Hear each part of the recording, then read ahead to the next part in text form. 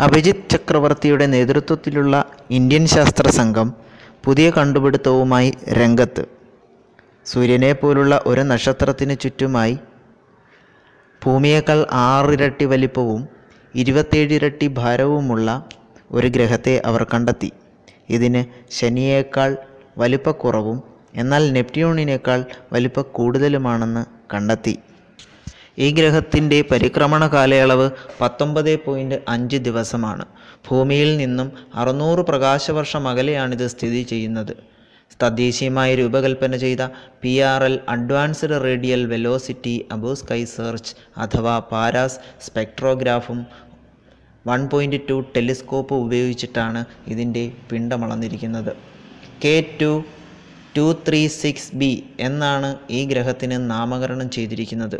ഉപരിതല താപനില അറുന്നൂറ് ഡിഗ്രി സെൽഷ്യസും ഭൂമിയും സൂര്യനും തമ്മിലുള്ള ദൂരത്തിന്റെ ഏഴ് മടങ്ങിനേക്കാൾ അടുത്തുമായിട്ടാണ് ഇവ രണ്ടും സ്ഥിതി ചെയ്യുന്നത്.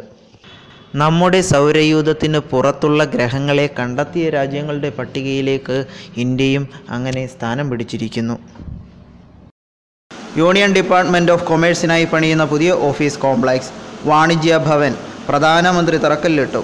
ഇത് പൂർണമായും പേപ്പർ രഹിത ഓഫീസായിട്ടാണ് രൂപീകരിക്കുന്നത്.